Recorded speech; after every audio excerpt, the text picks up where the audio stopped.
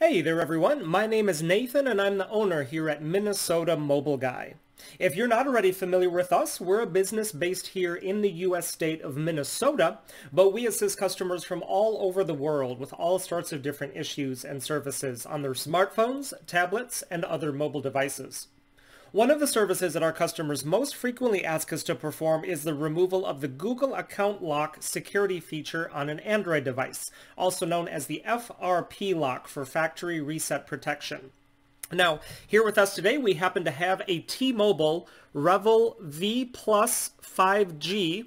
And this device does indeed have the Google account lock enabled because as we can see here, as we're going through the setup steps, we get to the screen that tells us that the device was factory reset. And to continue, we have to either verify the previous security screen lock pin that was used, or if we tap on use my Google account instead, it'll pull up the second option to have us log in to a Google account that was previously used on the device in order to be able to get back in and be able to use it as normal.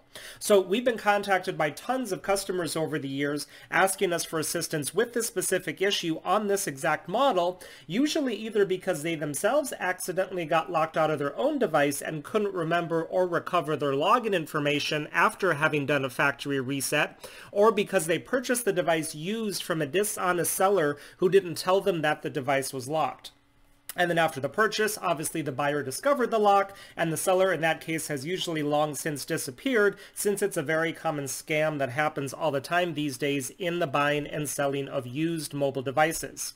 But we're making this video here today to let any interested customers know that we do offer a service to be able to get the lock removed from this exact model without having to have the previous user's login information. It's something that we do directly to the device while it is plugged into a computer. And the great thing about this is that it's something that can be done for just about anyone anywhere in the world. So you don't necessarily need to be located here in our local area in order for us to be able to do this for you. You would just need to have a decently powerful Windows computer along with a fast internet connection, and we can remotely connect right to your computer through the internet to perform the exact same procedure that we just did here with this one. So, as you could clearly see, the device was on the Google Lock page, and then I just powered it off and plugged it into our computer program here to finish up the last few steps of the process. Now that that's been done, we should be able to see that we can get all the way through the setup steps here without running into that Google Lock that we were seeing before. So, after it's rebooted, it's talking about connecting to a mobile network, which we don't necessarily need to do, so we're just going to skip that and then it says that it's getting the phone ready and it may take a few minutes. We don't need to copy any apps and data, so we're just going to skip that step.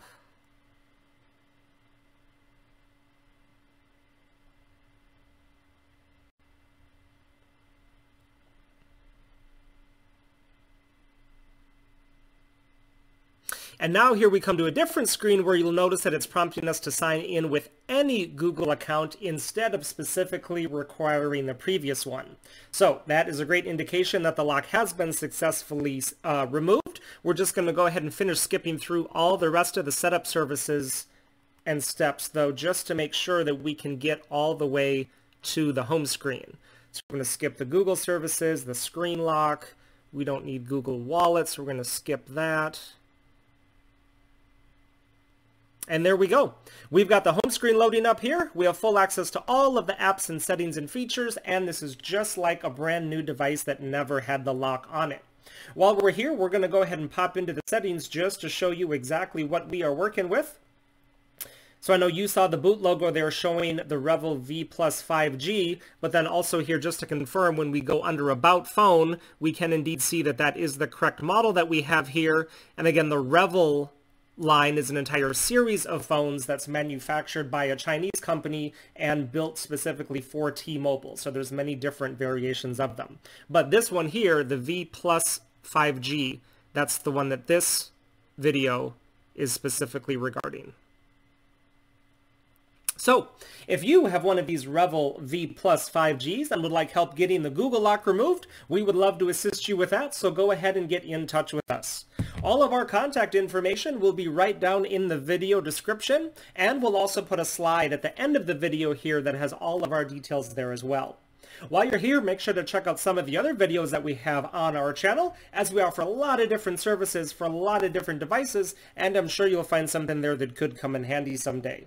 Hitting that subscribe button while you're there will enable you to be notified of all of the new videos and services that we're constantly adding and putting up, just like we're doing with this one. Y para todos ustedes hispanohablantes, nosotros también hablamos español, así que ustedes también nos pueden contactar sin duda. Thanks so much for watching everyone, and have a great rest of your day.